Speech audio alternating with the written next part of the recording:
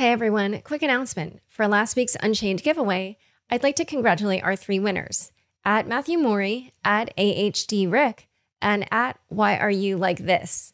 I received a ton of submissions, and it was super fun seeing which podcasts you enjoyed the most. It looks like NFTs are the most popular topic right now. Thank you to everyone who entered the contest. For more fun content, be sure to follow the Unchained Pod account on Twitter. That's at unchained underscore pod. And to our three winners, enjoy the Real Vision Crypto Gathering, which wraps up the day this show comes out. Be sure to check out my interview with Willy Woo and P- Peter Brandt at 10:30 a.m. Eastern. Hi everyone, welcome to Unconfirmed, the show that reveals how the marquee names in crypto are reacting to the week's top headlines and gets the inside scoop on what they see on the horizon. I'm your host, Laura Shin, a journalist with over two decades of experience. I started covering crypto five years ago, and as a senior editor at Forbes, was the first mainstream media reporter to cover cryptocurrency full time. You may have heard about Interpop, a super team laser focused on the emerging landscape of fandom. They are tapping into the latest innovations in NFTs to revolutionize gaming, collectibles, and comics on Tezos. Learn more at hellointerpop.io. The Crypto.com app pays you up to 8.5% interest on your Bitcoin. Get $25 when you download the Crypto.com app with code LAURA. The link is in the description. Today's guest is Miami Mayor Francis Suarez. Welcome, Mayor Suarez. Hi, Laura. It's a pleasure to be with you. As we record, Miami looks poised to approve the first cryptocurrency exchange sponsor of an NBA arena. Friday, which is the day this episode comes out, the Miami Dade County Commission will vote on whether or not to approve the deal in which the current American Airlines arena would be renamed FTX Arena. How did this deal come about? Well, it was an open bid, and they bid, I think, $135 million for the naming rights. So they uh, put in a very big bid. But I think uh, it wouldn't have happened if it wasn't for the fact that Miami um, is trying and striving very, very much to become the crypto capital of the world. And we're doing that, uh, frankly, by doing some things that I think are very easy. Right. The first thing we did was we scoured the United States to find out what are the most crypto friendly laws uh, in in the in the in the U.S. We found out that it was Wyoming, so we promptly copied their laws, tried to improve them, and now have a bill in uh, in in the House and in the Senate that is making its way up to the governor, um, which would make Florida the most crypto uh, friendly state in the nation. And then as a city, we implemented, um, you know, uh, a resolution that would allow our employees to get paid in Bitcoin, that would uh, allow our residents to pay for fees in Bitcoin, and that would allow the city, or at least explore the possibility of the city investing in Bitcoin. Uh, so we've wanted to sort of own this space because we think that cryptocurrencies are the wave of the future, and we want to be known as the city of the future. And how did you come to that conclusion and to have that desire to make Miami a crypto uh, a capital? Part of it was work that I had been doing uh, prior to this moment. Uh, I was on the Florida Blockchain Foundation uh, and also um, on the Florida Blockchain Task Force that was established by the governor and, and the CFO of Florida. And so for me, uh, you know, I, I, I, knew about this technology early. I'm a finance uh, undergrad, so I have a degree in finance. So I understand the financial concepts, the mathematical concepts that underpin it. And, and I understand people's frustration with government and government overspending and government trying to manipulate uh, through policy um, a variety of, uh, of, objectives. And I think that's what has uh, you know attracted people to a system that is decentralized, that is uh, untethered to a, a, central bank. And, and I think that's what makes it uh, exciting, especially when you see some of the actions that are being taken by governments across the country and across the world. Well, that's interesting um, to have that take when you actually work in government. So, how do you see the two blending together? I think they have to interact like everything in life. Uh, I, am hoping that that there's some benefit uh, benefits and some uh, positive byproducts of of this sort of cryptocurrency re- uh, revolution. I think one of them will be um, hopefully the el- elimination of, of of deficit spending, where hopefully governments are going to now have to tether themselves to uh, to crypto as as a currency as opposed to the other way around, and and so they're going to have to borrow money uh, like everybody else borrows money. They can't just print their own money. You know, they borrow money at an interest rate, and if governments uh, don't behave fiscally, uh, they're going to have to borrow at worse and worse rates. They just can't invent their own interest rates and invent, invent their own uh, currency uh, which manipulates uh, how markets work. And so I think that's that could be a tremendous future benefit. Um, we in the city of Miami, just to give you an example, we're forced to balance our budget. So it's very natural for us. We actually have a surplus. We actually have about 150 million dollars in surplus, um, and and we have some of the lowest tax rates uh, in the history of the city. So there is totally a space where government can be small, can be nimble, efficient, deliver services without taxing people to death or without deficit spending. And so, just the future that you described, it basically sounds like a future in which people transact in non governmental currencies and fiat is not dominant the way it is today. Is that what you think will happen? I can totally see a, a, a future that, that that happens. Um, in fact, that's really kind of a regression to our past. Uh, the you know government fiat are relatively recent in terms of human history, and you know it, it's it, it would not surprise me if uh, you know, the democratization of technology allows for people to come to a common understanding as to what they think has value and exchange from there, which is essentially what Bitcoin is or cryptocurrencies, right? It's it's a, it's a digital mechanism where people have agreed we're going to assign value to this, me, you know, you know, mechanical, um, technological uh, piece of data, and and that's what we're going to trade, and and and and then of course all the benefits flow from that. So um, as long as regulation doesn't impede it unnecessarily, or there isn't like some sort of a main a big hack or anything like that. Um, I see that the the trend and the trajectory, uh, particularly as you see governments implement monetary policy that creates a tremendous amount of inflation, I see the trajectory as being one that's on the upswing, kind of like this crane right behind me. right, which uh, for people who are listening on the audio, there is pretty much a near vertical crane right behind his head. um, yes. And so, just a quick question uh, back to the FTX sponsorship. Since it's a 19 year agreement and the crypto markets are known to have these bull and bear cycles, is there any concern amongst the commissioners or other city officials about signing FTX for such a long term sponsorship? Not really. I mean, we'll know on Friday uh, for sure but uh, I don't think so. I mean, I think that it's it's a very generous agreement. Um, it could very well end up being a very inexpensive agreement for them if the price of Bitcoin continues to go up uh, in in the way that it's gone up. When I when I put the resolution on the commission meeting, it was trading at forty seven. Um, I, I, don't know if it's at fifty five now. It was at fifty five uh, earlier, um, so it's already up. You know, almost twenty percent. What's it up to now? 56. There you go. So somebody in my office is telling me 56. So, uh, so it's up, up, you know, t- almost $10,000. Um, it could, that $135 million price tag could look paltry. Um, in, uh, and that's probably what they're banking on, frankly, in the next five years. Forget about 10 years. Yeah, yeah, it is true. Obviously, over the long term, it has been pretty parabolic. And um, I was also curious because obviously, as you're probably well aware, a lot of people in kind of what we would say the normie world, the non crypto world, view crypto as being volatile or associated with criminals. And so I just wondered, like, were there any perceptions amongst the other city officials that you had to overcome? And if so, what arguments did you find effective and persuasive with them? Well, the answer is yes. Of course, there were um, um, people that we had to convince and some people that weren't convinced. We had, you know, not everybody voted for it. It was a four to one vote. One of the commissioners voted against it. And my argument was the currency on which the most illicit activity in the world, in the history of the world has happened is the dollar. Okay. So we're not taking the dollar out of circulation because illicit activities have, you know, have, have, have used the dollar uh, to, uh, you know, to transact business. I mean, there's all the famous stories of, you know, Colombian, or I shouldn't even say the nationality, but drug drug dealers um, who are you know stuffing hundred dollar bills in their in their drywall. Uh, so I, I, mean that that part uh, to me it's it's it's kind of nonsensical.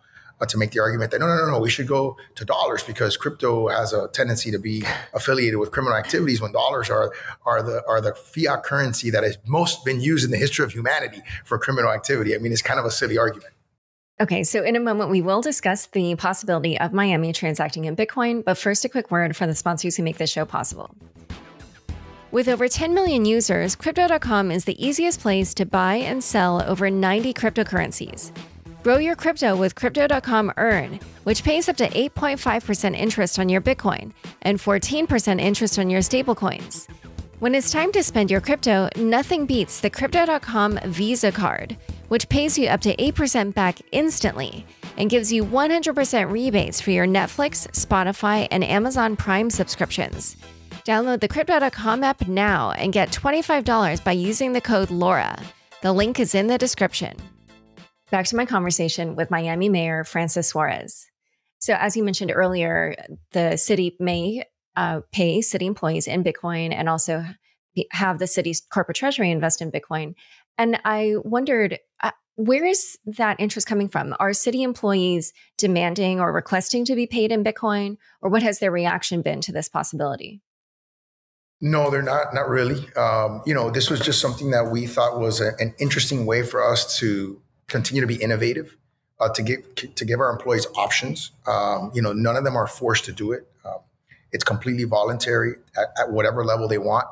Um, they could theoretically do it already on their own. I mean, they could get paid in dollars and go to an exchange and buy Bitcoin. So it's just sort of a mechanism that allows them to do it instantaneously.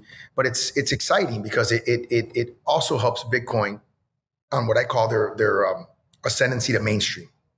And I think a big part of um, Bitcoin's success is it being uh, approved by and used by governmental agencies because that's seen as one of the biggest threats to Bitcoin. So I think uh, from a from a branding perspective um, and from a uh, ascending to uh, you know to mainstreaming perspective, uh, it's a really significant uh, event for the Bitcoin community and the crypto community. And for the um, possibility of the city treasury investing in Bitcoin, what needs to happen to make that possible? Well, we're doing um, some legal research to see if we can even hold Bitcoin. Um, that's something that uh, we have to first figure out whether it's a legal um, investment asset. If it is, then the second thing, the second threshold, I think, is you, you touched a little bit on its volatility. So we're only allowed to invest in certain kinds of assets that have a certain volatility threshold. Uh, what, even if they're going up completely, right? It, it, it, it's not about uh, you know their direction per se, even though it should be. Um, it's more about their movement and and and what kind of an asset class can you invest in. So those are the analysis that have to take place before we can decide. And then, of course, you know, I've thought about some creative ways to defray the city's risk by maybe getting some uh, big crypto holders uh, to co-invest with the city. Uh, so that uh, it, it, becomes less risky for the city and it becomes something that's more easily accepted by by the residents. And how would that co-investment make it less risky for the city? Well, let's say, for example, that um, let's say, for example, that the city invested two hundred fifty thousand. I'm just making up numbers, and the co-investors invested seven fifty. Um, but uh, on the on the gains, right? On the gains, the city first gets back its its its two fifty, right? And then the co-investors get back their money, but their money stays in, right? They get back their 750, but their original 750 stays in. So the city ends up making, you know, back its money plus plus the, the, the balance. So their upside is significantly greater. Um, and then, you know, obviously, if there's a if there's a downside loss, the loss gets gets borne first by the the co-investors um, and last by the city. So that's that's just an idea that I've had that I've come up with. Um, you know, I'm not sure if we're going to be able to do something like that, but I think it's a creative way of defraying the risk so that you can sort of get your feet wet and, and dip your toe in the water uh, without um, creating a tremendous amount of risk that your residents might be afraid of. And how long is this study expected to take? Hard to say. I mean, we have, uh, you know, like government, and nothing ever is as fast as you want it to be. Uh, and, you know, we have a lot of big projects that we're working on. We just came back from uh, Las Vegas talking about a boring tunnel. Um, so we're working on a variety of big projects. It's going to take whatever time. I'm always, I'm very uh, anxious and sort of uh, impatient. So, but we want to make sure that everybody's comfortable. We want to make sure our council is comfortable. You know, at the end of the day, this is not done by executive fiat. You know, it's not like I can just wave a pen and make it happen. So, you know, you have you, you know you have to study it, and then you have to get your commission, your council comfortable with it, so that they approve it. And last topic, there's been a lot of controversy recently about the environmental impact of proof of work mining, which is what's used by Bitcoin. And Miami will be probably one of the cities hardest hit by climate change. So, how do you reconcile your interest in Bitcoin as well as its potential impact in the environment against your love for Miami and your interest in mitigating the effects of climate change there? Extremely easy. Um, extremely easy to, to reconcile those two things because a part of the problem with Bitcoin mining is 90% of it is not done in the United States. Um, 90% of it is done in countries that have dirty energy. so that's that's the reason why it's it's considered to be a dirty um, uh, activity. But for example, in Miami, we would love to be a mining a hub for A, national security reasons. We don't think 90% of mining should be outside of the US. And B, um, we get nuclear power. So we have clean energy, a clean energy supply that's essentially unlimited. Um, and so we have the ability to have to supply uh, mining uh, centers and data centers uh, in, in, in perpetuity uh, with clean energy. So it, it, it actually it would be to the benefit of the crypto community if we did more mining in the U.S. because we, by and large, produce clean energy. So that would it would change that narrative and that dynamic.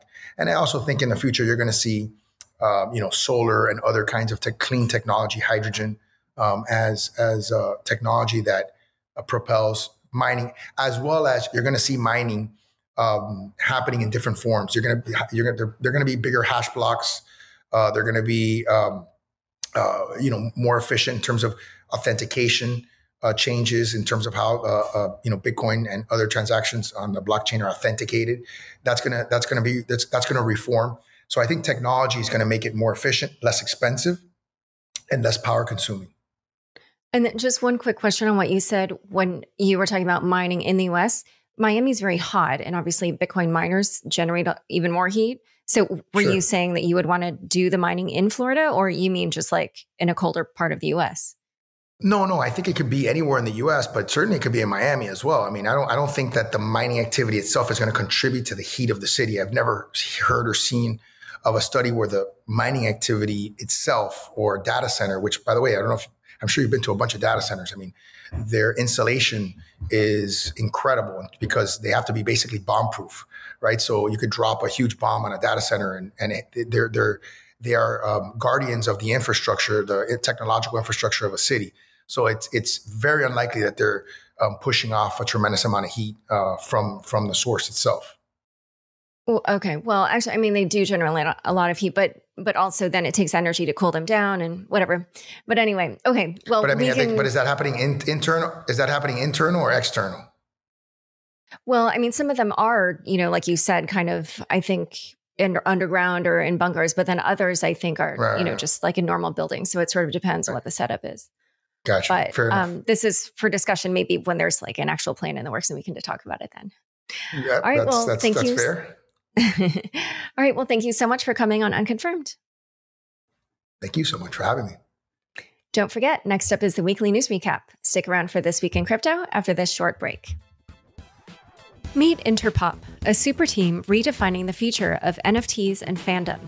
From comics and trading card games to digital collectibles and everything in between, they are building the architecture of an entirely new landscape of fandom using technology built on the Tezos blockchain to drive their vision.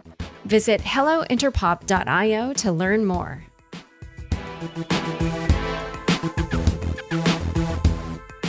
Thanks for tuning in to this week's news recap. First headline Fidelity files for a Bitcoin ETF. An affiliate of Fidelity filed for a Bitcoin ETF with the U.S. Securities and Exchange Commission on Wednesday. The proposed ETF, notes the application, will, quote, provide direct exposure to Bitcoin and track the price of BTC through Fidelity's in house Bitcoin price index, which adjusts for the trust's expenses. Fidelity Digital Assets will custody the underlying Bitcoin. Fidelity's ETF will be named the Wise Origin Bitcoin Trust a subtle nod to Bitcoin's pseudonymous creator. On Twitter, Alex Thorn, head of firm wide research at Galaxy Digital, pointed out that in Japanese, Satoshi means wisdom and Nakamoto means origin. In a statement to the block, a Fidelity spokesperson expounded on the filing, saying, quote, the digital assets ecosystem has grown significantly in recent years, creating an even more robust marketplace for investors and accelerating demand among institutions. An increasingly wide range of investors seeking access to Bitcoin has underscored the need for a more diversified set of products offering exposure to digital assets. Fidelity's entrance into the Bitcoin ETF race comes right on the heels of similar efforts by Van Eck, Valkyrie, NYDIG, Wisdom Tree, and First Advisors slash Skybridge. Next headline Coinbase's direct listing draws scrutiny to the firm's prospects, Brian Armstrong's net worth, and customer service. Mario Gabriele, founder of tech newsletter The Generalist, along with well known crypto analysts such as Jill Carlson, Ryan Todd, and Catherine Wu, wrote up a comprehensive piece on the paradoxes of Coinbase as a centralized exchange championing the rise of decentralization. The article is too long to summarize here, but I recommend it for those looking for a thorough analysis on Coinbase ahead of its direct listing. Some choice highlights include the correlation between Coinbase's revenue growth and Bitcoin price has been around 70% for the past few years. Institutional trading made up 64% of Coinbase's trading volume, while only accounting for 5% of revenue. Transaction fees made up 86% of Coinbase's revenue in 2020. CNBC reports the much anticipated Coinbase direct listing is poised to make co founder and CEO Brian Armstrong a very wealthy man. At the latest valuation, Armstrong's stake in the company is worth $13.6 billion, which would leave him in the company of recent tech founders like Zoom's Eric Yuan at $16 billion, Twitter's Jack Dorsey at $13 billion, and Shopify's Evan Spiegel at $10 billion in net worth. In Coinbase's virtual AMA or Ask Me Anything on Reddit, Armstrong made headlines by acknowledging that Coinbase would support central bank digital currencies if and when they met the exchange's listing standards. In response to a question about Coinbase providing special blockchain based shares to early customers, a la a crypto airdrop, Chief Financial Officer Alesia Haas put such rumors to rest, saying there will be, quote, no opportunity to invest in the company prior to that direct listing. She revealed, however, that Coinbase had researched the idea of a security token, a digital representation of a stock, instead of a standard IPO. Haas cited a lack of opportunity for institutional investors as the reason why a blockchain native security never materialized. The Coinbase news cycle was not all positive. Last Friday, the CFTC fined the exchange $6.5 million for allegedly providing misleading information about the trading volume on its platform GDAX, now rebranded as Coinbase Pro, between 2015 and 2018. The CFTC pointed out two in house software programs that traded with each other, inflating the asset prices and volume on GDAX. The agency also alleged that a former Coinbase employee participated in wash trading using Litecoin Bitcoin trading pairs. In a tweet thread, Evan Lorenz, deputy editor at Grant's Interest Rate Observer, speculated that Coinbase, which now, based on its revenues, would not be defined as an emerging growth company, quote, skated under the emerging growth deadline based on when it filed. This means that, along with other emerging growth companies, it is now only required to disclose two years of financials in its S1. He wryly noted that the period of time for which it provided financials, quote, begins just after the CFTC said that Coinbase stopped conducting wash trades to give the illusion of more trading volume. The NYT looked into how Coinbase struggles with customer service by following several customers who lost five and six figure amounts of crypto on the platform after their accounts were hacked. They say they received little to no customer support for long periods of time. The Coinbase said that only 0.004% of its users had experienced such an attack. The company said it has added 2,000 customer service reps to help in such circumstances, but the story is a reminder to secure your passwords and always use second factor authentication services such as Google Authenticator or a YubiKey. Next headline Uniswap finally unveils V3 plans. Uniswap was introduced in true crypto fashion via an announcement of an announcement in a dramatic, 46 second video featuring three unicorns and a hidden message written in the stars. A few hours later, Uniswap released a blog post outlining the V3 plan and setting May 5th as the target launch date. Uniswap V3 aims to be, quote, the most flexible and efficient AMM or automated market maker ever designed, and will, quote, provide liquidity with up to 4,000x capital efficiency relative to Uniswap V2. The heart of the update is centered on the concept of concentrated liquidity, which allows liquidity providers more control over the price range their markets trade on. This version of Uniswap will launch with a business source license that delays the commercial use of the code for up to two years, perhaps in response to SushiSwap, a rival that previously copied and pasted Uniswap's code to create a competitor. The question now becomes as Jose Macedo partner at Delphi Digital, asked on Twitter, How do you enforce a license if an anonymous and decentralized team forks the code?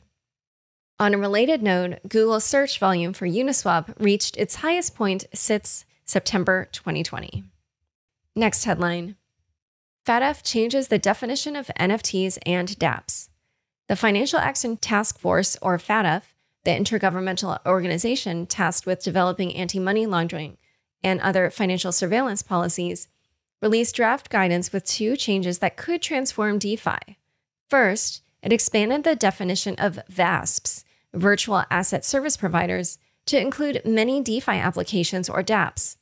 That could require decentralized platforms to conform to the same anti money laundering laws traditional financial institutions follow. Secondly, FATF changed the phrase, quote, assets that are fungible to, quote, assets that are convertible and interchangeable. The new terminology would lump certain NFTs under the same regulations as virtual assets if the tokens were used to facilitate money laundering or terrorism. Peter Van Valkenburgh, director of research at Coin Center, a blockchain advocacy organization, called the proposed changes problematic. In a blog post, he wrote, quote, Classification as a VASP would obligate these non custodial persons to register with a local regulator, collect and report to government masses of information about their activities and the activities of others, and to know the names and physical addresses of everyone with whom they interact. Those requirements may be reasonable for banks and other financial institutions where most money laundering takes place, but they are absolutely inappropriate for private persons participating in open computer networks. Ian Taylor, chair of Trade Association Crypto UK, also criticized the changes, saying, FATF are recommending to the governments that they do everything they can to stop digital asset related financial relations that aren't intermediated. FATF will be accepting public comments on the draft language until April 20th.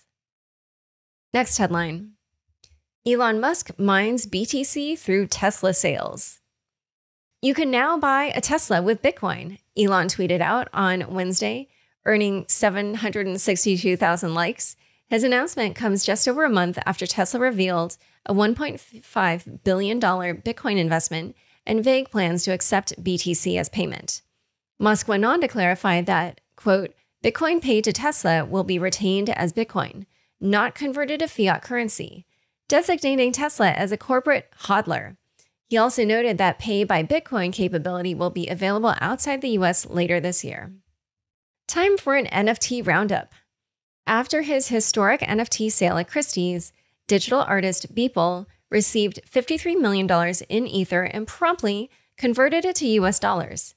In an interview with Fox News, he called the recent surge in NFT prices a bubble, though he does believe that the technology behind NFTs will outlive the bubble, much like what happened with the internet. Time magazine offered up three non fungible tokens inspired by Time's most iconic covers this week. One is God Dead, two is Truth Dead, three is Fiat Dead. The NFTs sold for 241 ETH or $385,000 on SuperRare Thursday. Jack Dorsey sold his original tweet as an NFT for $2.9 million. Dorsey converted all proceeds from the auction to Bitcoin and donated to GiveDirectly's Africa response. The New York Times released a recent column as an NFT and is auctioning it off for the Neediest Cases Fund. The article, ironically about NFTs, sold for 350,000 ETH or $550,000 on Thursday.